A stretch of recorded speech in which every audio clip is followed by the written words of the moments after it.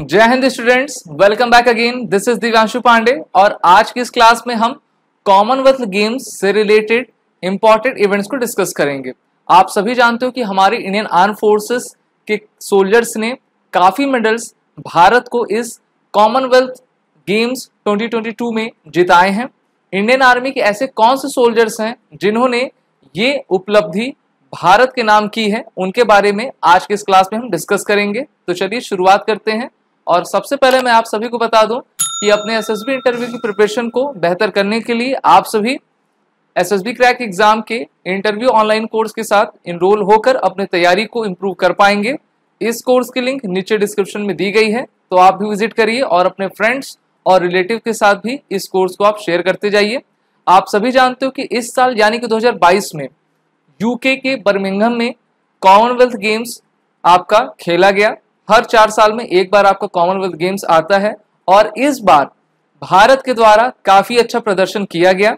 भारत ने टोटल इस गेम में 61 मेडल्स आपके क्लिंच किए, जिसमें भारत का स्थान पूरे मेडल टैली में फोर्थ था। यानी कि चौथे नंबर पे हम थे, पहले पे आपका ऑस्ट्रेलिया था, आप सभी जानते हो।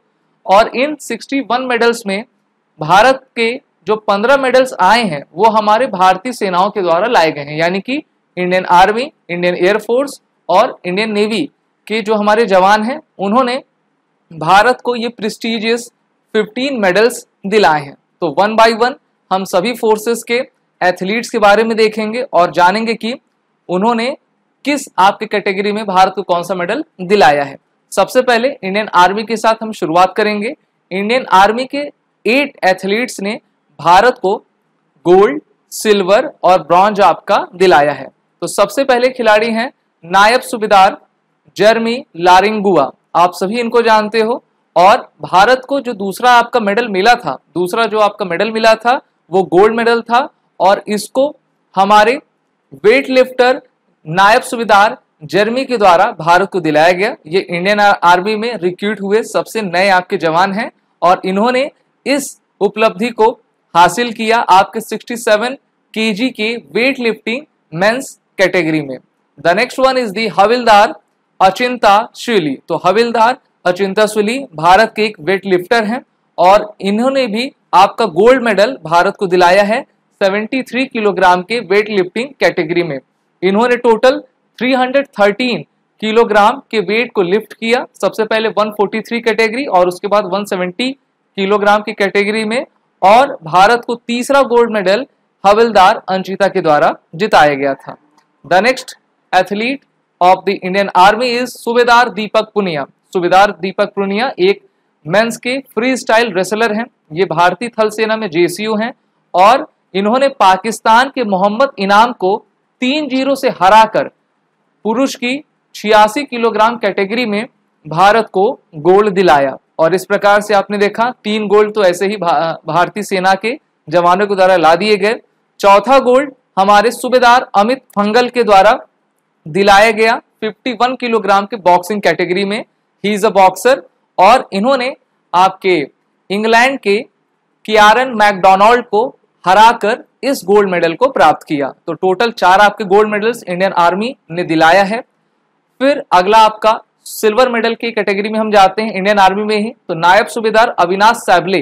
तो ये आपके इंडियन ट्रैक और फ़ील्ड एथलीट हैं, जिन्होंने 3000 मीटर की स्टेपल चेस में भारत को सिल्वर मेडल दिलाया है और इन्होंने नौवीं बार आपका नेशनल रिकॉर्ड सेट किया है। इन्होंने 3000 मीटर, यानी कि तीन किलोमीटर का जो स्टेपल चेस था, उसको 8 मिनट 11 सेकंड में इस आपके ट्रैक रेस को पूरा किया और इन्होंने भारत को आपका सिल्वर मेडल दिला भारतीय थल सेना के जवानों ने भारत को तीन आपका ब्रॉन्ज मेडल्स भी दिलाए हैं। तो पहला ब्रॉन्ज मेडल सूबेदार संदीप कुमार ये आपके 10,000 मीटर रेस वॉक की कैटेगरी में इन्होंने भारत को आपका ब्रॉन्ज मेडल दिलाया। तीसरे पायदान पर ये रहे।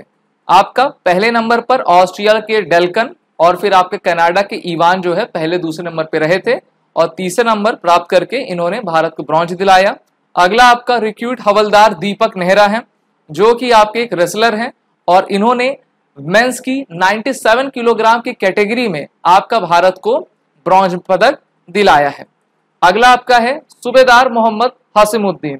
सुबेदार मोहम्मद हसीमुद्दीन एक बॉक्सर हैं और इन्होंने मेंस की 57 किलोग्राम कैटेगरी में सेमीफाइनल में आपका भारत को ब्रॉन्ज दिलाया और ऐसा करते हुए जो कॉमनवेल्थ गेम्स का नौवा दिन था, उसमें ये भारत को उपलब्धि इनके द्वारा दिलाई गई थी।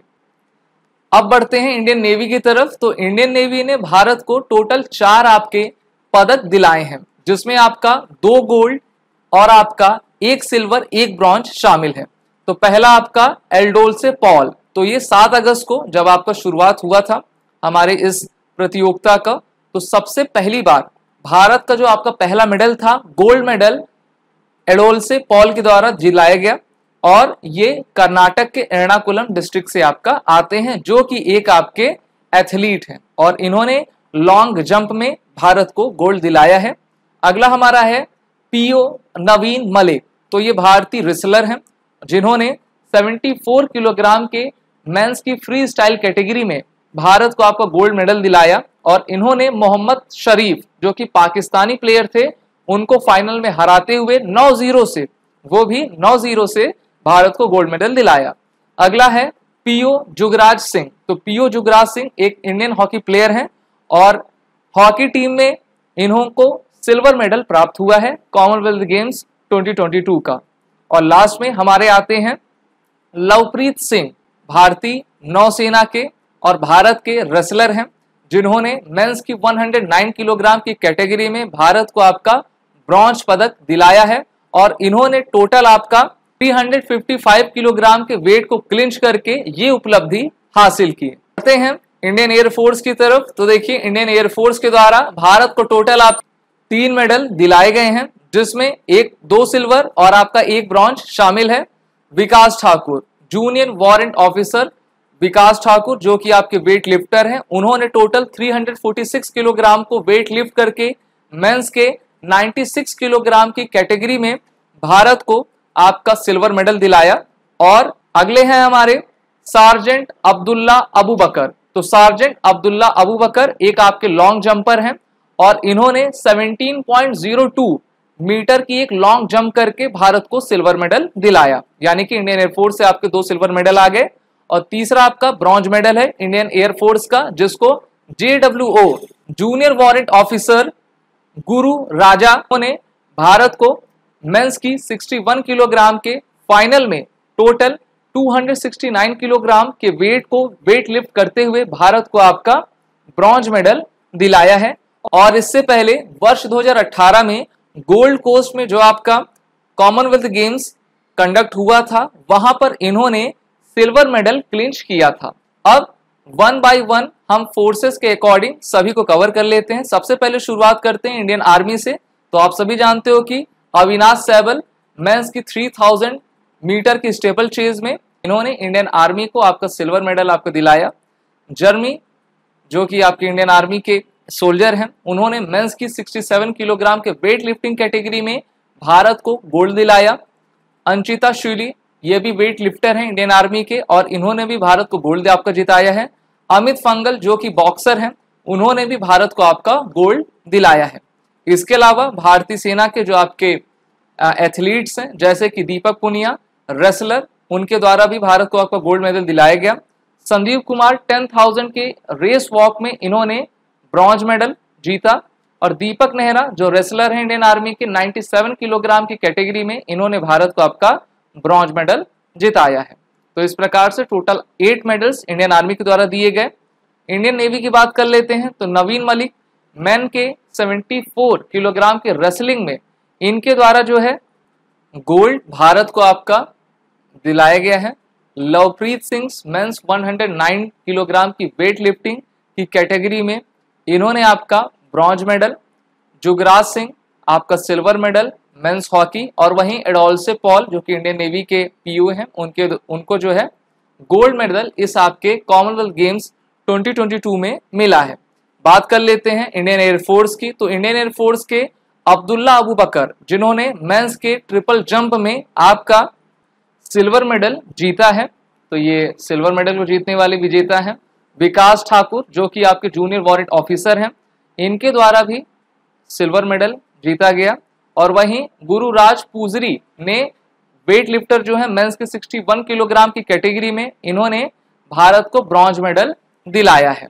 तो ये थे भारतीय सेनाओं के ऐसे हमारे एथलीट्स ऐसे प्लेयर्स जिन्होंने भारत के नाम को बर्मिंगहम 2022 के कॉमनवेल्थ गेम्स में काफ़ी रोशन भी किया और इनके द्वारा ये सभी पुरस्कार जीत कर लाए गए, जिससे कि भारत की मेडल टैली में जो इंडेक्स था, वो फोर्थ पोजीशन पर था, जो कि काफ़ी अच्छी बात है। और इससे हमें ये पता चलता है कि हमारी जो आर्म फोर्सेस हैं, वो हमारे एथलीट्स का ज़्यादा ध्यान रखती हैं। जिससे कि वो अपने ऑब्जेक्टिव पर फोकस करके भारत को आने वाले जितने भी नेशनल और इंटरनेशनल गेम्स हैं, उसमें उपलब्धि वो हासिल कर सकें।